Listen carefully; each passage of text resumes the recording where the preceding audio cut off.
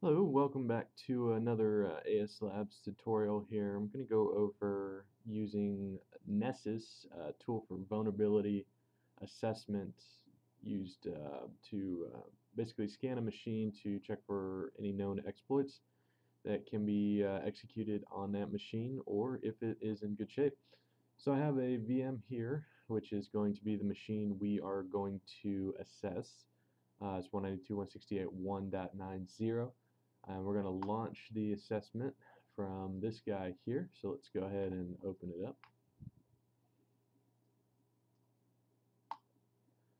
And Nessus, or Tenable just released a new version, uh, Nessus 5. Uh, so we just got that updated here. I'm going to go ahead and log into the web interface.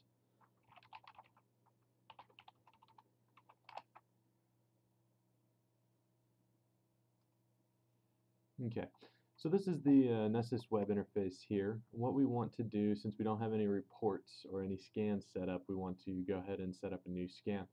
Uh, but before we do that, if you want to, you can modify the scan policy uh, to include or exclude particular checks on different vulnerabilities.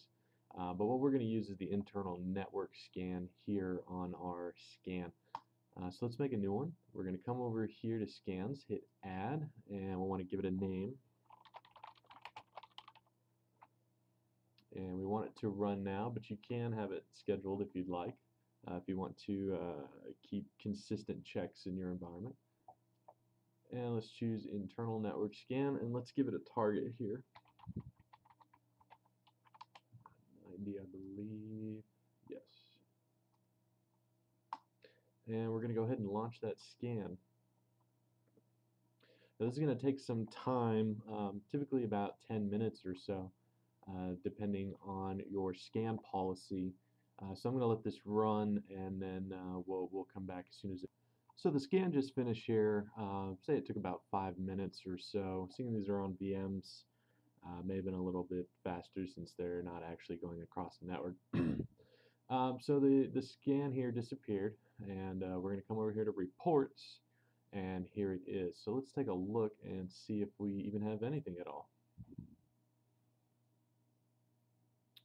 And we do.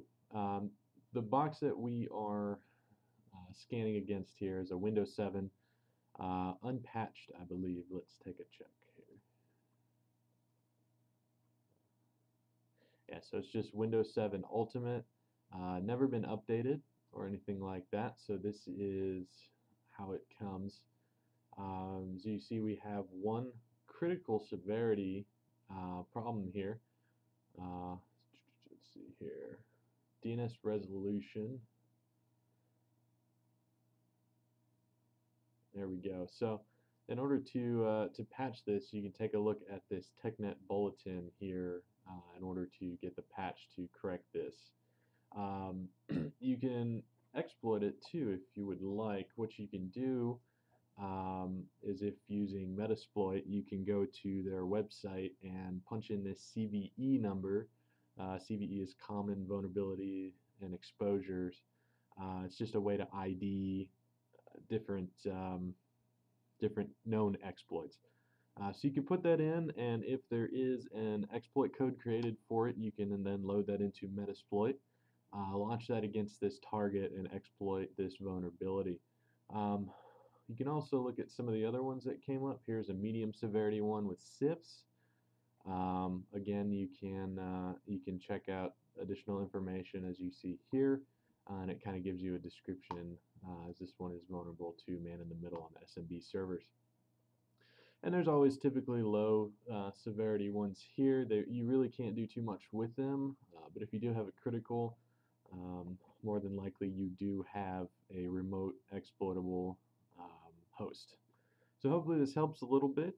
Uh, this is Nessus 5. It's a little bit different than 4 if you're familiar with it.